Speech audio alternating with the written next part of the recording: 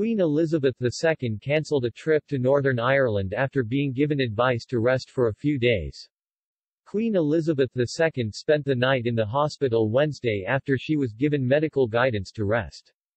The Queen returned to Buckingham Palace on Thursday around lunchtime. Following medical advice to rest for a few days, the Queen attended hospital on Wednesday afternoon for some preliminary investigations, returning to Windsor Castle at lunchtime today, and remains in good spirits, the palace said in a statement.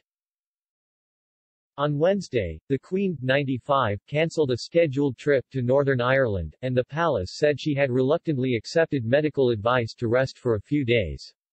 It did not elaborate. The Queen is now at Windsor Castle, west of London, where she has spent much of her time since the onset of the COVID-19 pandemic last year. The decision to cancel this week's trip was understood to not be COVID-related.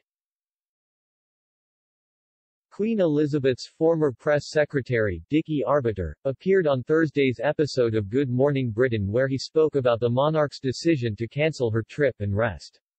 He claimed the Queen won't step down from her role, but would likely have her officials pace her engagements moving forward.